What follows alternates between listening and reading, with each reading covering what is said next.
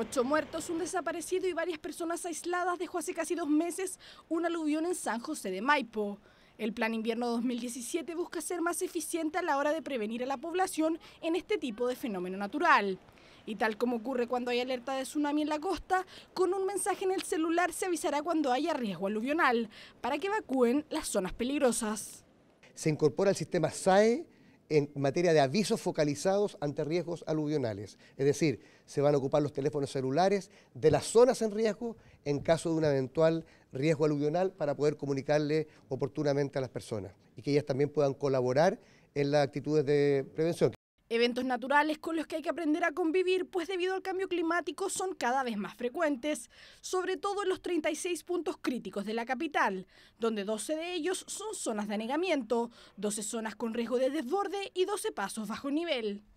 no podemos eh, pronosticar ni hacer una proyección de cuándo va a ocurrir precisamente qué día y a qué hora un aluvión, pero sí el sistema cuenta con la información necesaria para anteponerse a ciertos escenarios que configuran la potencialidad de generación de un aluvión. Y en ese sentido es importante el trabajo previo porque nos desarrolla la capacidad de poder eh, poner en aviso a la población de eso exactamente se trató la reunión que sostuvo el intendente Orrego con los alcaldes de siete comunas cordilleranas para coordinar cuáles serán los protocolos de acción frente a posibles aluviones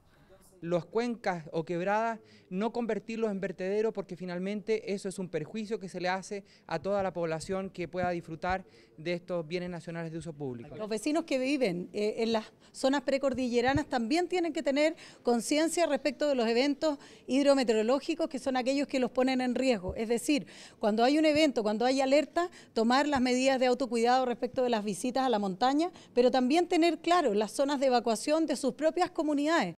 Pero no solo se pedirá que la gente y los municipios actúen, también se exigirá a Aguas Andinas una reacción inmediata tras el corte de suministro que se suele provocar tras la ocurrencia de un aluvión.